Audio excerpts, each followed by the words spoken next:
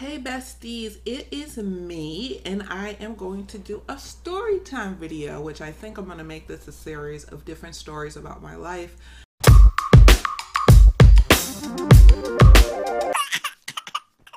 And this one's on bullying and how I was bullied.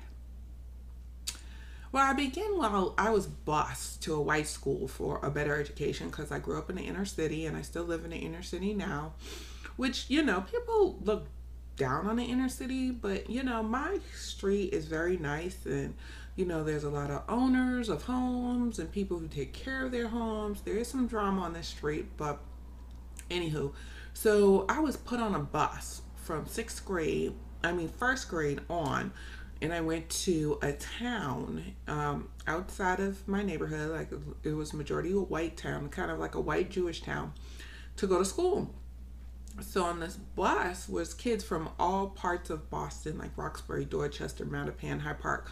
It, they were from all parts of Boston, and um, we'd all get on this bus, and the bus would go around all around Boston and take us to school.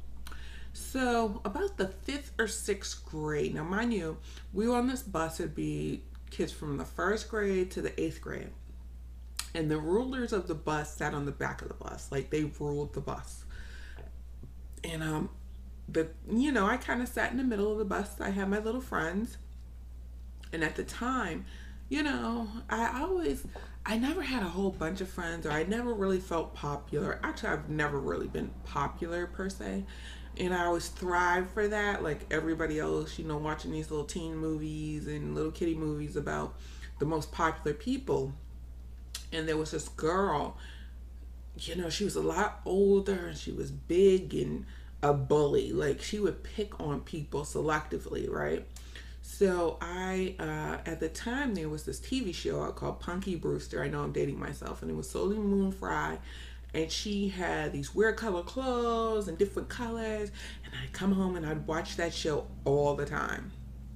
So these sneakers came out, L.A. Gears, and I wanted the pink and white ones, and they were all colorful, you know, with this pink and white. If I can find a picture, I'll, I'll put it over here.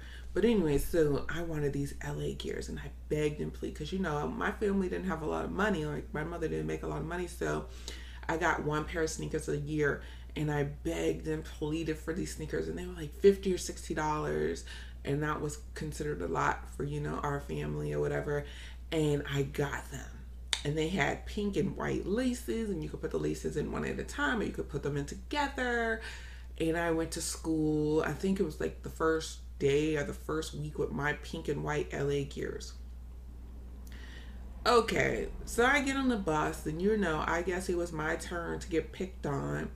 And this chick like screamed from the back of the bus, Oh, look at that girl, looking like Punky Brewster. And you know, very negative, and like all the kids laughed, and I felt like this big. So uh, what happened was I the next day, like that night when I went home, I cried to my mother and said, "Can we take them back?"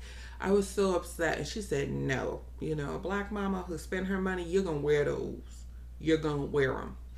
And there was no love lost, and I wore those sneakers after that. And you know, she made fun of me for a while, and then she, you know, stopped. But you know, my self esteem was blown with my LA gears in hindsight's 2020 and it's so funny what goes around comes around because i was like the little chubby kid and you know uh, dressed very awkward. I was tall you know at a young age and i was very awkward.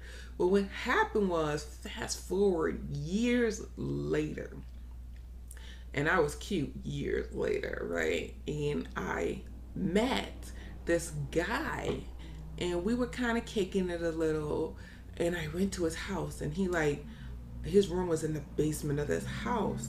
And um you know far past i don't think this girl ended up going to my high school so this was like far past high school. I hadn't seen this girl in 20 million years.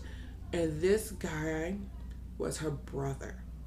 Yes her brother who i had never met before. And when i went over there she opened the. And oh my God, she looked a hot, hot mess. Yes, a hot mess. And it just goes to show how small Boston is.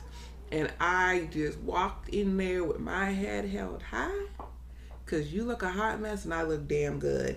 Oh, it was just priceless because the scar, of those LA gears just live with me forever. And she bullied me for other reasons too.